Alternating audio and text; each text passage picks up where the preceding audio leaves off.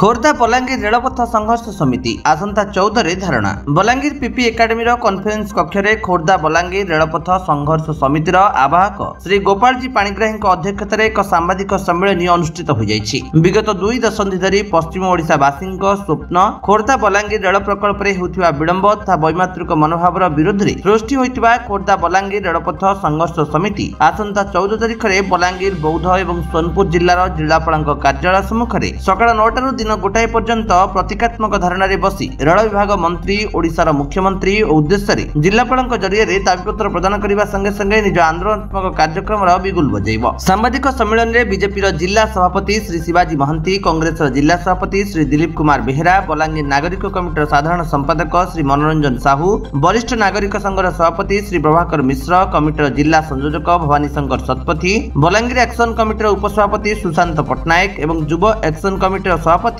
ବିନୋଦ କାଲସାଏକ ପ୍ରମୁଖ ଅଞ୍ଚାସୀନ ହୋଇ ଆସନ୍ତା ଚଉଦ ତାରିଖରେ ଖୋର୍ଦ୍ଧା ବଲାଙ୍ଗୀର ରେଳପଥ ସଂଘର୍ଷ ସମିତିର କାର୍ଯ୍ୟକ୍ରମକୁ ସମ୍ପୂର୍ଣ୍ଣ ସମର୍ଥନ ଜଣାଇବା ସହ କାର୍ଯ୍ୟକ୍ରମରେ ଭାଗ ନେବା ପାଇଁ ସହମତି ଜଣାଇଥିଲେ। ଏହି ପ୍ରକଳ୍ପ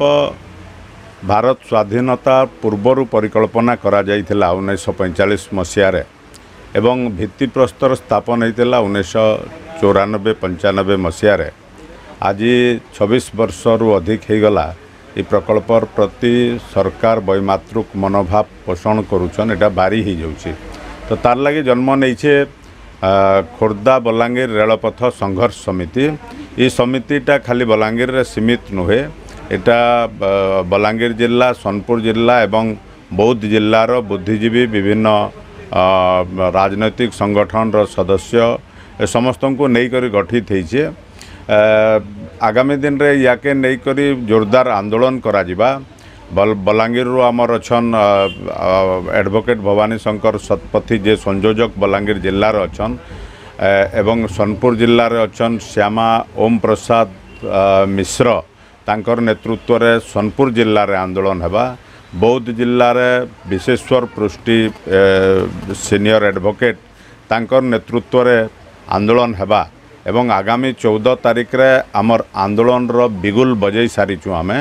ତିନି ଜିଲ୍ଲାର ଜିଲ୍ଲାପାଳଙ୍କର କାର୍ଯ୍ୟାଳୟ ସାମ୍ନାରେ ଧାରଣା ଦେବାର ଯୋଜନା ଅଛି ତାର ସତ୍ତ୍ୱେ ଯଦି ସରକାରଙ୍କର ତତ୍ପରତା ପ୍ରକାଶ ନାଇଁ ପାଏ ଏ ପ୍ରକଳ୍ପ ଯଥାଶୀଘ୍ର ଅ, ଗୋଟେ ନିର୍ଦ୍ଧାରିତ ସମୟ ସୀମା ଭିତରେ ଯଦି ତାକେ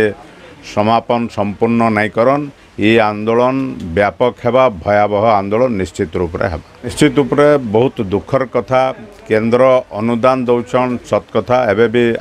एकानबे कोटी टंका ए प्रकल्प मंजूरी हेइछे किंतु प्रति पैसा खर्च नहीं करी पैसा फेरी जाऊे कारण है जंगल जमीर कथा राज्य सरकार कौन जंगल जमी अधिग्रहण रो कथा, सेटा सरकार दायित्व से जंगल जमी केन आकार अधिग्रहण करबे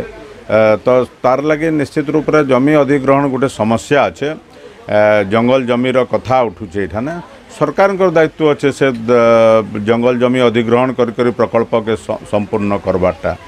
ତ ମ, ଲାଗୁଛେ କି ସରକାରଙ୍କର ବୈମାତୃକ ମନୋଭାବ ଏଥିର୍ ଲାଗି ତ ଆମେ କହୁଛୁ ସବୁବେଳେ କି ଇ ପଶ୍ଚିମ ଓଡ଼ିଶାର ପ୍ରତି